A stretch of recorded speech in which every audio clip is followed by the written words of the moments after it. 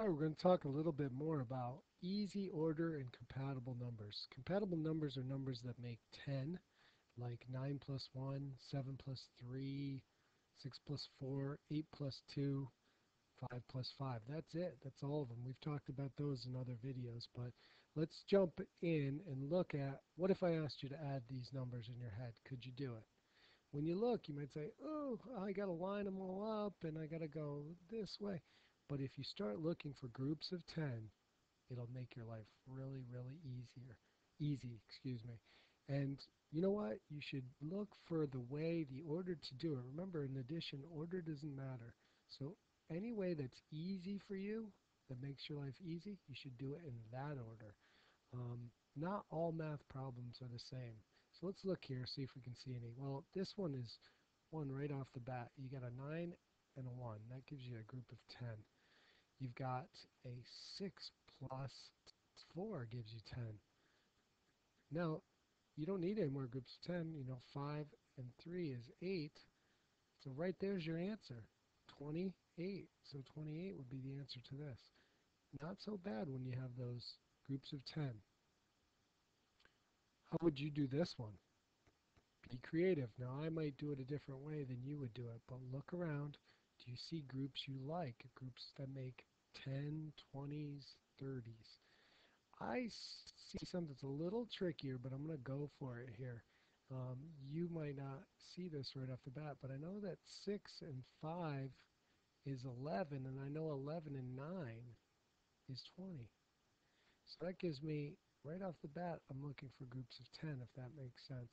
I know that 7 and 3 makes 10, and then I just have 2 left, so I have 32. 32. Here's another practice one. How would you add this? Take a minute to look at it and just think about, take a guess of what the answer is. Don't grab pa paper and pencil.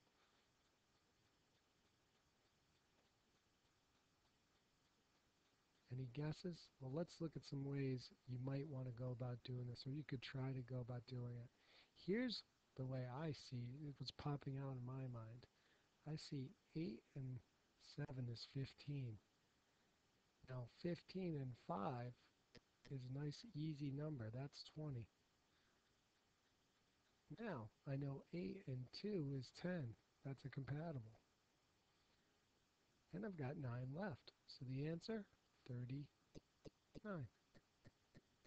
Now there's other ways to do that. Let's try this one. Do you see what it is in your head?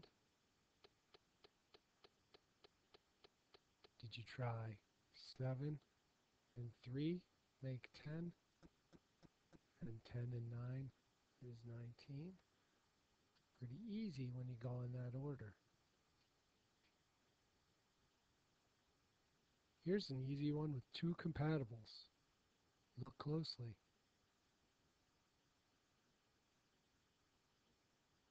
6 and 4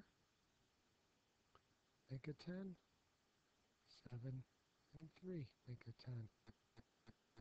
10 answer 20 hope you like this little lesson on compatibles and doing um, the easy order. Take the easy route. Don't do it the hard way. Do it the easy way and math becomes fast. Not only that it helps you get a better sense of the value of numbers and gets you to put numbers in their places.